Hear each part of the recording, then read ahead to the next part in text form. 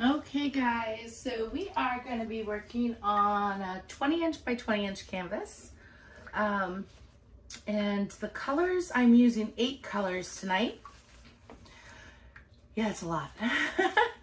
so I'm going to go over those real quickly and then um, we'll get cleaning up the area, remove some of the paint, and then get layering the cup. So the first color we're going to start with is DecoArt's 24K Gold Extreme Sheen.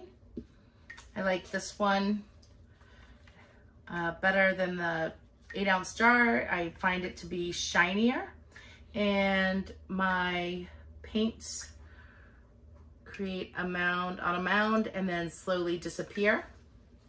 I've mixed that uh, one to one ratio with Floetrol. All my paints are mixed with Floetrol, so we'll just discuss that at the moment. So, all right, so with this one, this is PBO's Iridescent Blue Black. It's a gorgeous color. And I added a little bit of Payne's Gray, Fluid Payne's Gray in there to deepen it up a bit. I don't have, I used up the rest of it. So the tube that I had it in, I threw it out.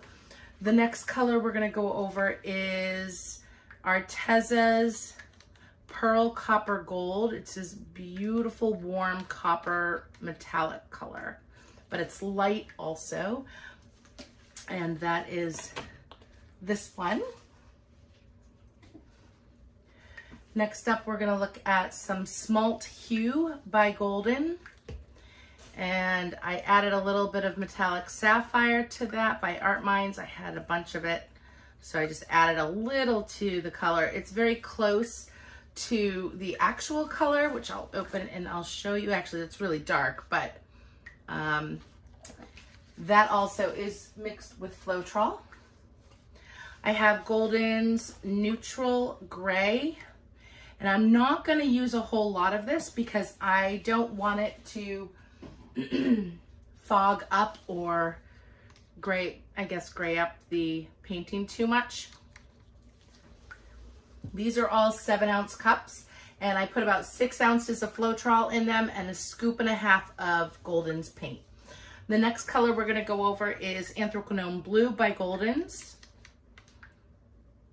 So it's a beautiful, beautiful color. And that is the Anthraquinone. The next is Golden's uh, Nickel Azo Gold and that's a beautiful rust-like color. And I really think it's going to bring the painting to another level next to gold or the white and whatnot. and then finally I have my Artist Loft Flow White and I mix that two to one with Floetrol and then added a couple of scoops of the Satin Enamels by DecoArt. So this is the satin enamel that I talk about in my videos. I know some people have asked what satin enamel it is. This is what I get. All right, so my colors are mixed up. I'm going to grab a cup and uh, get this show on the road. I'm using a 18 ounce cup. It's a solo cup. I like these because they're very sturdy and I can reuse them after the fact. And I am actually going to do a little bit of white down at the bottom and then a little bit of the gold. So with the exception of the gold and PBO's iridescent blue black, uh, these other colors, aside from the white, um, that's about six ounces of Floetrol and about a scoop and a half of the heavy bodied paint. So um, the PBO and uh, the PBO is about six ounces to about an uh, ounce of a ounce and a half of the paint. And um, yeah, I don't want to put gray there actually. So we're gonna stop that process right now. We're gonna add some of the pearl copper gold. And come in with the Anthraquinone Blue. And what am I gonna do? I'm gonna go with this. This is the Smalt Hue.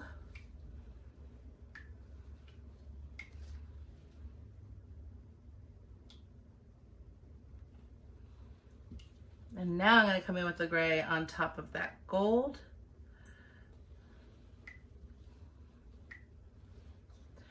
And then the blue black iridescence by PBO. I have no idea how this is gonna come out, so fingers crossed the eight colors will merge beautifully. Do that. Come in with the copper.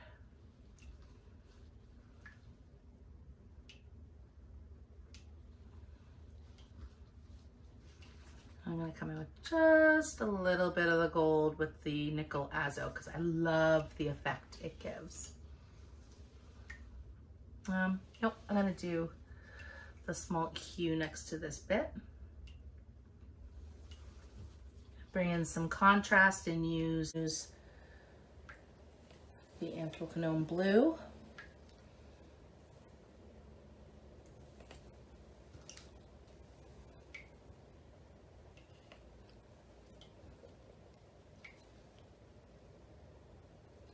And that was the neutral gray I just put in there.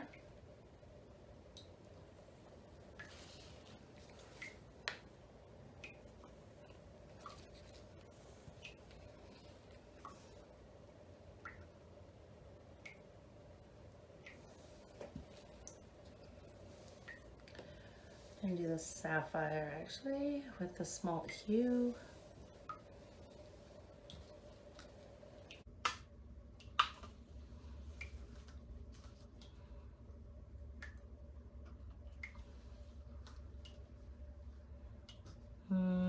This is gonna be tough. There we go.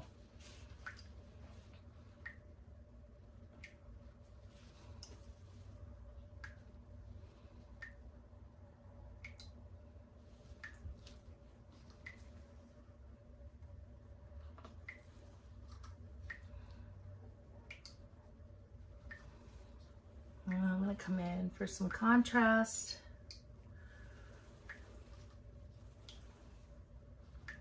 I'm come in with the gray.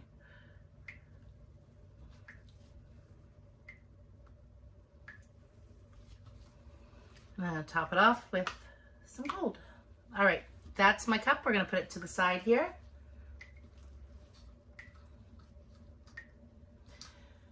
Move all these out of the way because them sitting there may create a problem. And we're gonna put a little bit of my white mix. Somebody asked if this is the same thickness or consistency of the rest of my paints, and yes, it is. It doesn't have to be. I just don't want to water it down to thin it out because I have leftover, so I might want to use it in another painting. And we are going to pour. Here we go.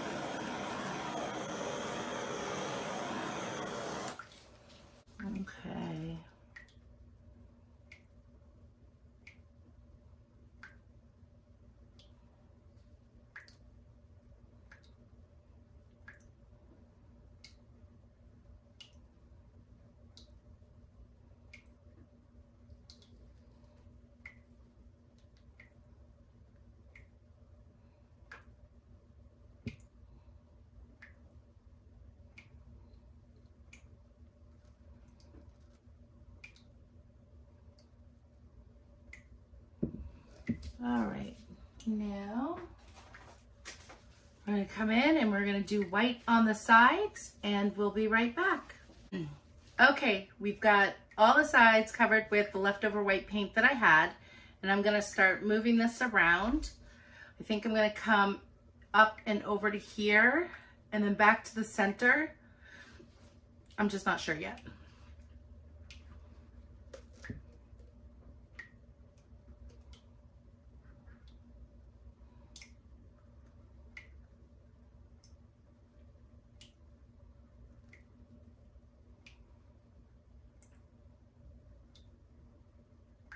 I'll come all the way down over here now. I'm just watching where the paint moves and that's where I decide where the composition is and how to manipulate the outcome. Now I do feel like there might be a little too much gold in the center but we'll see. I'm just gonna keep on keeping on. And I'm gonna come back. Let me keep it that way. It's really cool.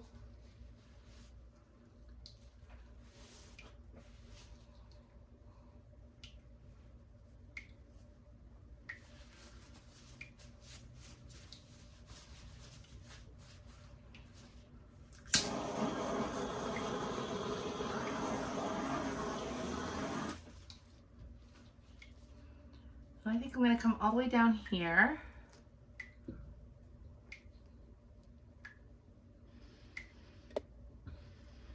Right off the edge.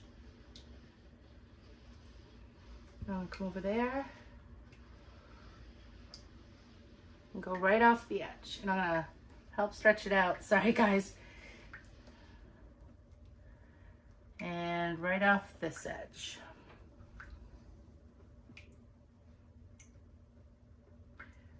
Paints are moving a bit fast here.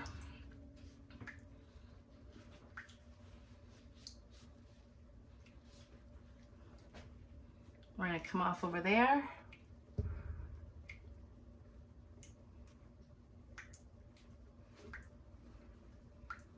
And then back my way.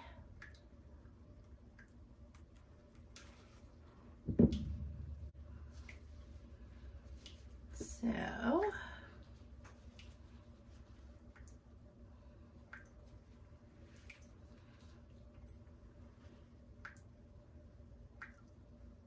I think I want to bring it off over here a little more to open it up. So let's see what we can do.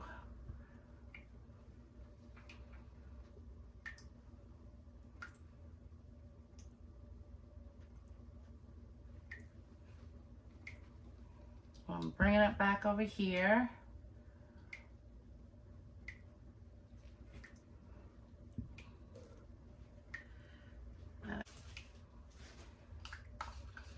So one thing I've learned is you should always have some paint mixed up. And I'm not 100% certain I like this one.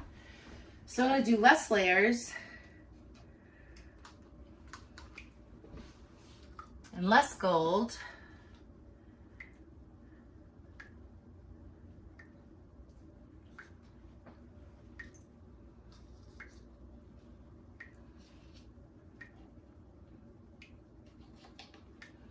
And I'm gonna pull right in the middle. We'll see how it goes. I'm just not 100% certain I like the outcome.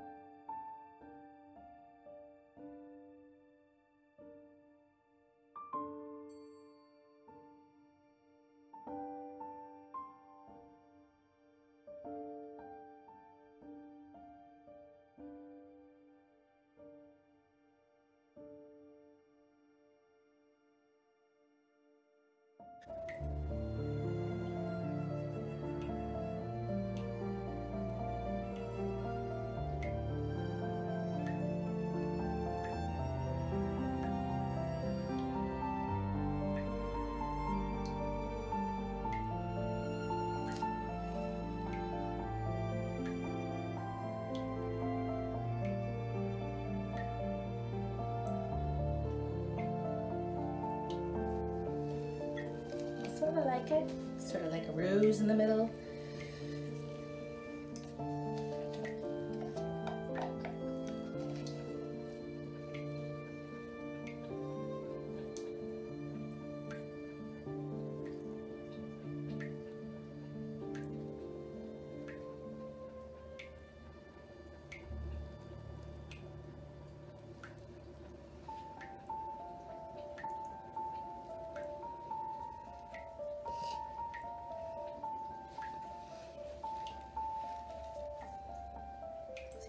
See if I can get any more out of this cup.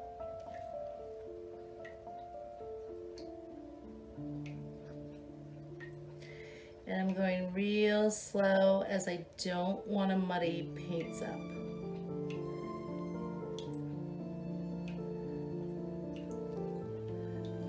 I think that's where we're gonna stop.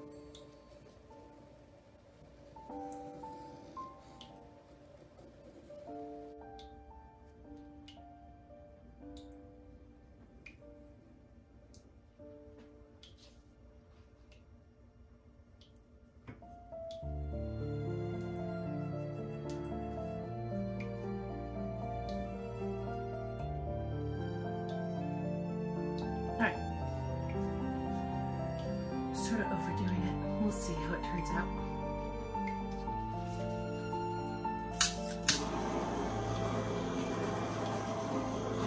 Give it a torch. Was gonna be a galaxy pour, but now it's not.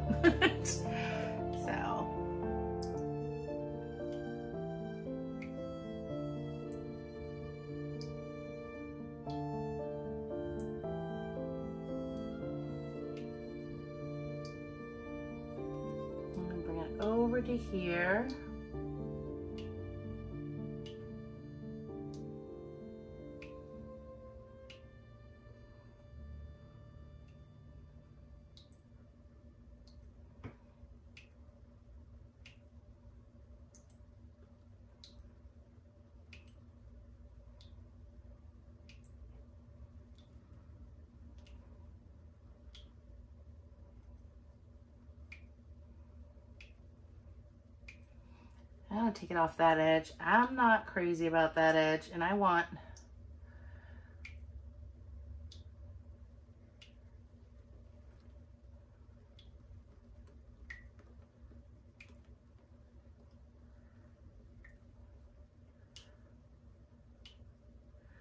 Oh yes, we're gonna keep this because I really love this piece.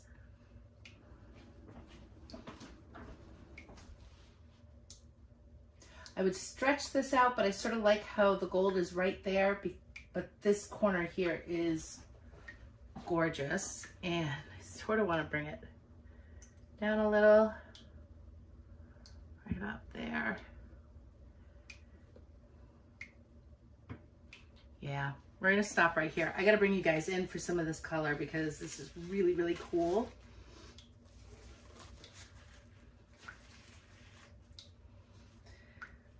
All right, so uh, give me a few and I'll bring you in.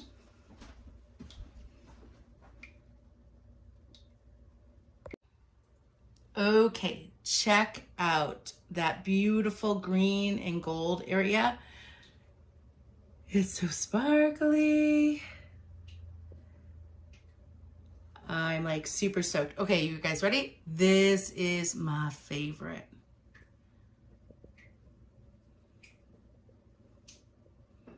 It is so sparkly And I think it's going to, it's just really cool.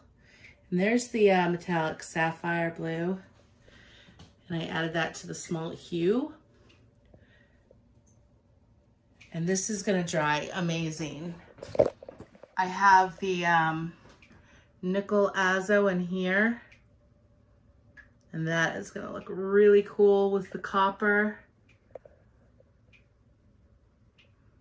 Piece has so much to look at and I love it.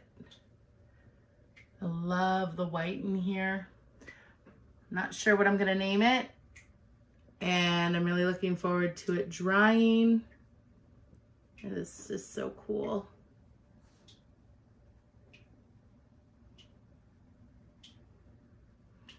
Hey, what are you gonna do? I'm not sure how I like it either. I don't know if I like it this way. I, I don't think we're gonna have an answer for that at all until it's dry and then really take a look at the final piece. But I love this area here.